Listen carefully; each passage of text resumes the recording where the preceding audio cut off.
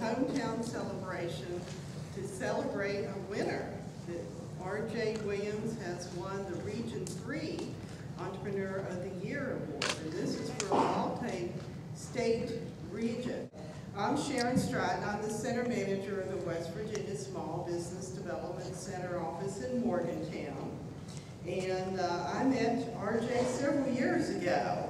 You happened to be tearing down a house next to one of the houses that I owned in Morgantown. Remember, that's how we, how we small business people do so many things with so few resources. We can all take lessons from. Uh, and what's even more significant is they take risk.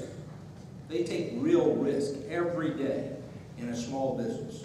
Frequently, they bet everything they own or hope to own. They risk their, they risk their resources, they dedicate their time, and at the beginning, without almost any exception, it's a struggle. It's a battle every day to make sure everything gets done in time, that you get the business necessary to run your, your business, that you have good employees that are there every day for you. Uh, there are 116,000 small businesses in West Virginia. A little over that, almost 117,000. 116,970, 71, 72. They change every day. But that's how many small businesses operate in the state of West Virginia. Over half of the folks working in, in West Virginia's workforce today work for a small business. Over half of the state's gross domestic product, GDP, is produced by small businesses. That's why this recognition is so important.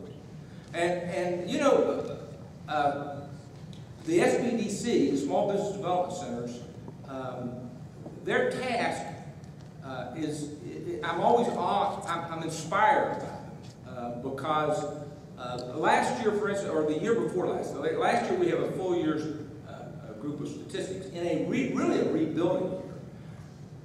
They helped companies generate a thousand new jobs. They saved 1,600 small business jobs in West Virginia and helped helped companies develop $34 million in capital. But they couldn't do it without folks like RJ, without folks that are committed to doing business in West Virginia and committed to growing their business in West Virginia. You know, this is an opportunity for everybody to pop their chest out. We're, we're, we're going to heap all the praise on RJ today and what he's done at the, at the ripe old age of 29. Uh, but, but what's significant is there's a lot of folks that this really stands for. Why young entrepreneurs like RJ are so critically important to our economy. He probably started this business because he didn't know he couldn't.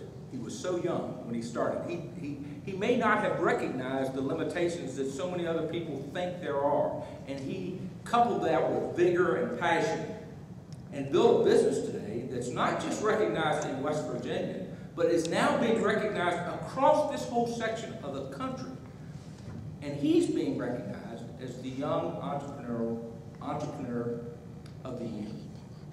That is an incredible recognition when you think that just in West Virginia, there's 116,907 small businesses just like yours. So, uh, and when you add Pennsylvania, Delaware, Virginia, I don't know which of the other states, into that mix, the recognition is extraordinary, extraordinary. And so we're all puffing out and, and proud of what uh, RJ you've accomplished. This administration, I want to thank you all for coming to RJ Williams Hometown Celebration, our 2012 Young Entrepreneur of the Year. For those of you who I have not met, I am Judy McCauley. I'm the District Director for the Small Business Administration here in West Virginia. As President Obama stated during National Small Business Week, our country started as an idea, and it took hardworking, dedicated, and visionary patriots to make it a reality. Successful businesses start much the same way, as ideas realized by entrepreneurs who dream a better world and work until they see it through. From the family businesses that anchor Main Street to the high-tech startups that keep America on the cutting edge, small businesses are truly the backbone of this nation.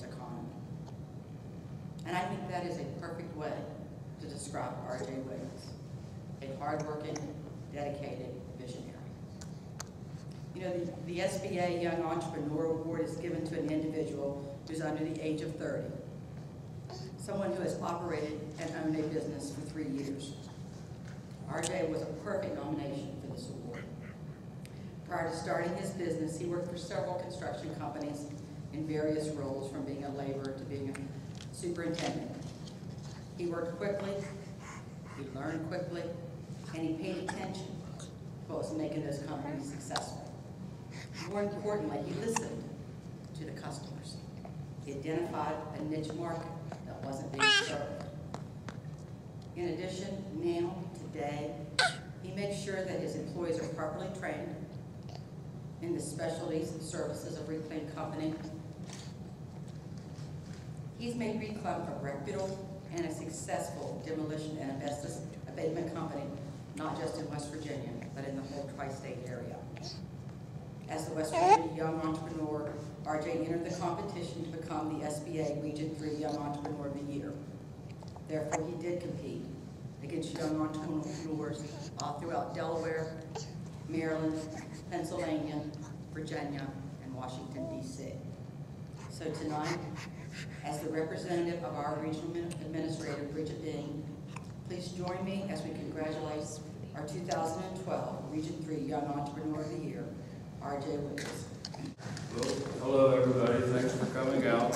I'm not a real big speaker or anything, so I'll just say, you know, thanks to my wonderful staff, and, you know, a lot of people in this room have uh, helped me along the way, and just want to say thanks to everybody, and thanks for coming out. I- I- I'm not real good at speaking, so I'm not a speaker kind of person. But thank you, everybody, thank you. How does it feel to be recognized by the SBA with these awards? um, gratifying. What do you think the awards kind of say about, about your business? Um, I just say, I think that it says that we have a, a great staff and um, that it also, you know, shows a lot to our customer base as well. Well, can you tell me a little bit about uh, what Reclaim Company, do, the work that you guys focus on? Uh, we focus on uh, demolition, asbestos abatement, and excavating, and there's a broad array of things that come along with that, but those are the main focuses. What are some of the local projects you, have been involved with lately? Um, we're involved with uh, uh, the federal post, currently the fe- old federal post office in Morgantown on High Street, and also uh, the 400 block there in Fairmont, along with several other little projects here and there.